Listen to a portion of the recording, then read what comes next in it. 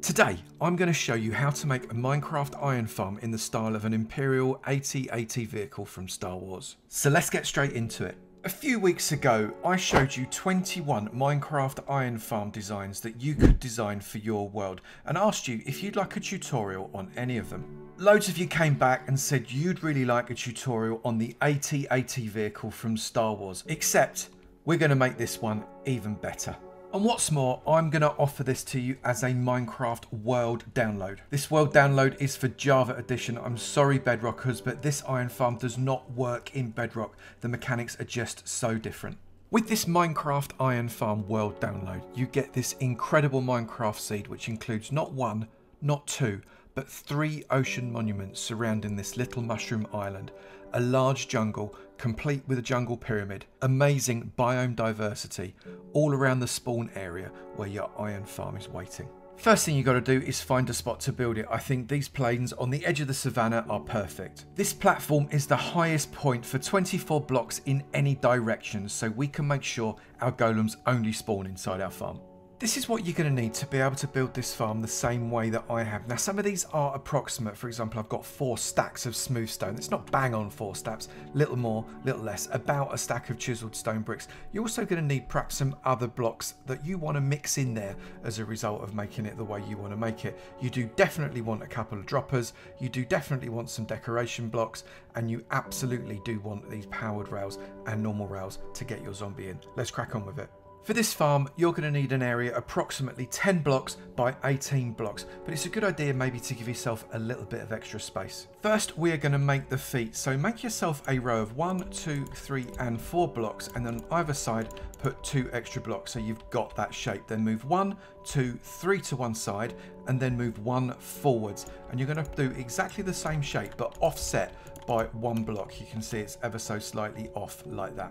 I am using smooth stone blocks for this, but you could use andesite or normal stone. They both work well. Come onto one of your feet and come out this side and go one, two, three, four. And on the fifth block, place another foot exactly the same shape like this. And then on the other side, one, two, three, and build another foot. So as that is also offset ever so slightly. You should have four collections of eight blocks just like this. Then, using a slab made of a different stone variant, I'm just using stone, come all the way around the outside to create a border around each and every one of the feet that looks like that. We're then going to create the basic shape of each leg. We're going to place two more of the blocks that you've made the main part of the feet on, and then we're going to get some andesite wall now, quite light andesite for this part, and we're going to come up three on each side of those blocks, and on the top one, we're going to place another two blocks. So we've got a gap in the middle there. We're then going to place two more across the top of that. We're going to get some stone stairs just to give a bit of differentiation like that. And then some chiseled stone bricks. Now this looks like it's got some kind of cogs or whirrings on it. So that's why we're using chiseled stone. It's like it's got some kind of pivot. On top of those, we're going to place two more blocks like that. We're going to get more stone stairs there, more stone stairs there. We're then going to get two more of our stone blocks like that and then again we need more pivoty types of bit. And we're going to go one two three four. And I'm going to place those on that side like that and those on that side like that. So it's one big turny cog. That is the knee and that is the hip. And you want to put one of those on all four of the feet. And your four legs should then look like that. Then what you're going to do is you're going to come to the middle of these turny cog parts and you're going to place four on the outsides of those. So that's the outside there and on this side, four on the outside there as well. We are going to put some more detail on these in a minute, but we did need the basic structure so we could build up the body. We now need to create the area that connects these hips to the underside of the body. So we're going to put a step there. It's the right way round step. We're then going to go one, two, and three blocks. We're then going to get another step that's upside down right there. We're going to come to this side, repeat the process, step there, we're going to get a block, one, two, three blocks, and then another upside down step right there. We're then going to get a slab, and opposite this part that's just jumping out there, put a slab on that side and a slab on that side. We're then going to get a step that goes that direction and that direction and in here we're going to stick another two blocks then underneath well we've got these three blocks here we're going to offset go one two and three same on the other side one two, and three, like that. We're then going to get a slab that goes under there and under there. And then we're going to get steps again that go upside down there and there and also there and there. So you should have a shape that looks like that from the inside. And if you come on the outside, it should look like that. And then just repeat that on the inside of the other two legs. We're then going to create the base of the body. And this bit's easy. It is literally a flat platform. Come to one of the legs, doesn't matter which one of the legs you come, and come to the forward facing one. Put a block on top of it and come out one, two, and three. You are then going to put another 11 blocks going backwards. One, two, three, four, five, six, 7, 8, 9, 10 and 11. You can see we've got a 15 block run there. And we're then going to make just a platform that goes all the way across the entirety of the top of the legs over those hips so as it is a rectangle. So you should have a 15 by 7 platform right there. Come to the back. The back is the part that isn't jutting out quite so far. Just nick out those two corners like that and then come to the front and nick out one, two, three, four, and five on one side.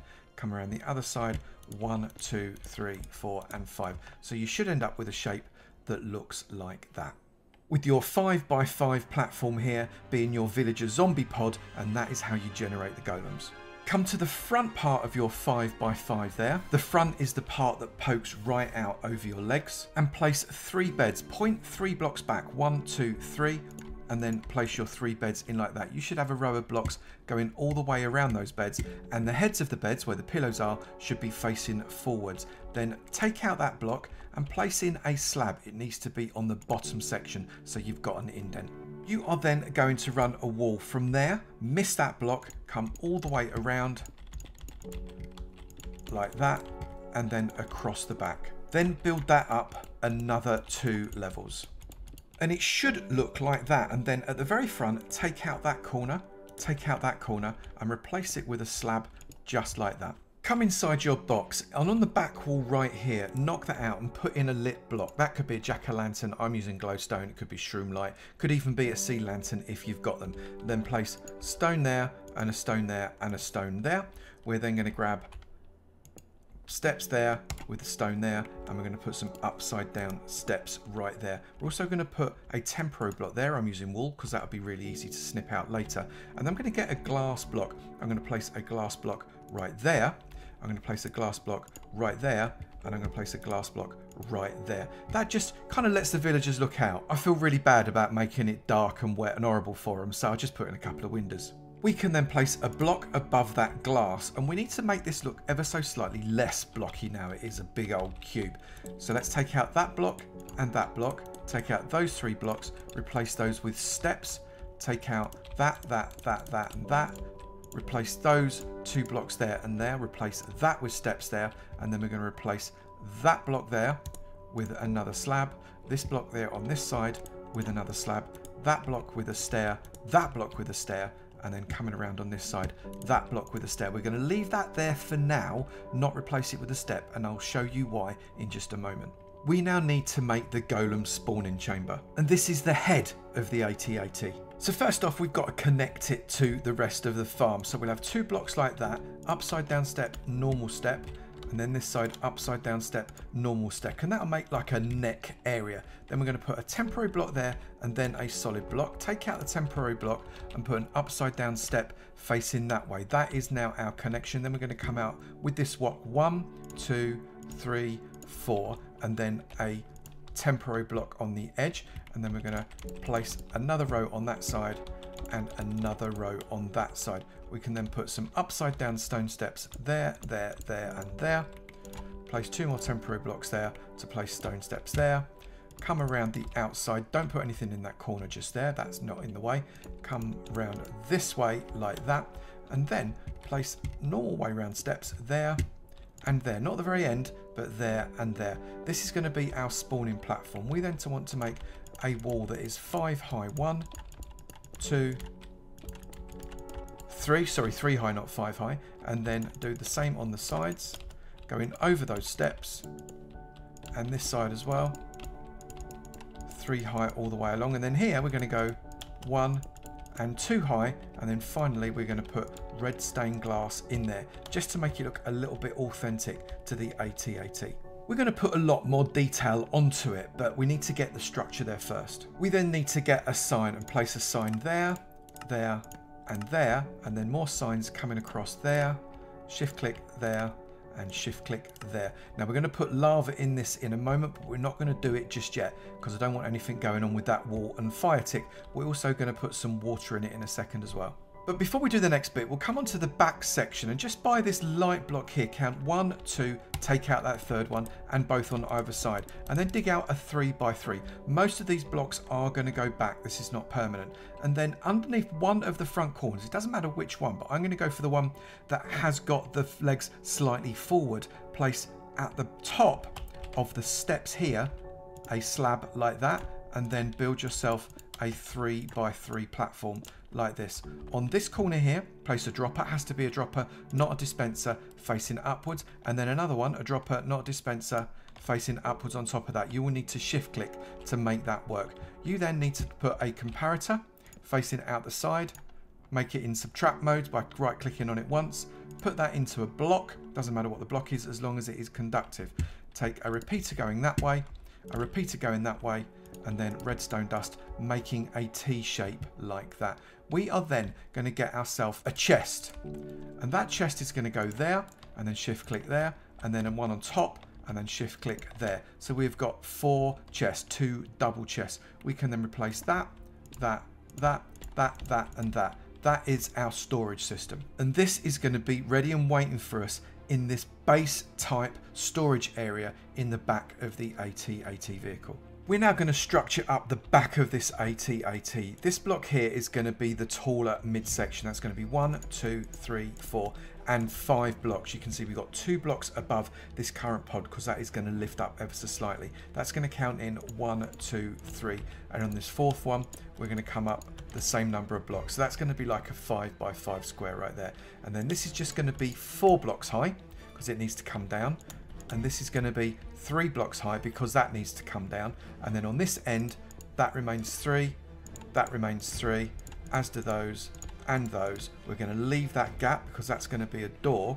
We're then going to put some upside down stairs just there so as we've got somewhere to get in and out of that door. And then we're going to match it on this side with three blocks there four blocks there and then a five by five here so the basic shape is coming there. I'm just going to lay out two more blocks on the top of this just to continue that curve because the back of an AT-AT is definitely a nice curve like that. And then inside here, just for the time being, we're going to replace some of these bits fairly shortly. I'm just going to put carpet all over the floor so it is spawn proofed. We're not going to get the golem spawning just yet, and some of these are going to have other blocks placed on top of them. But that's just to make sure that I don't forget. And I'm also going to go around and spawn proof things like the top of the cogs on the thighs, outside this back door, etc. We only want the golems spawning inside that golem killing chamber. I'm also going to put a stone pressure plate right there, an iron door in there, and a button on that side and also that side. We now need to come underneath and run a hopper line there and then sideways and then come all the way along the center of this until we get to the underneath of that temporary wall.